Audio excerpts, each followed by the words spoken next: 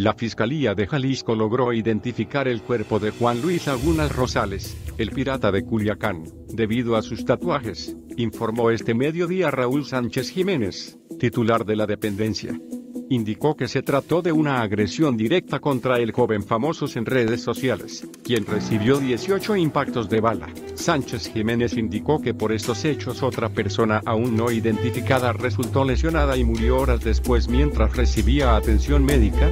El hecho ocurrió alrededor de las 23 horas del lunes en el bar Dos Cántaros donde un grupo de sujetos irrumpió buscando a Lagunas Rosales y disparó en su contra. El fiscal de Jalisco señaló que hay varias líneas de investigación abiertas, entre ellas la relacionada con un video en el que Lagunas Rosales arremete contra el líder del cártel de Jalisco Nueva Generación, Nemesio Oseguera Cervantes, el Mencho.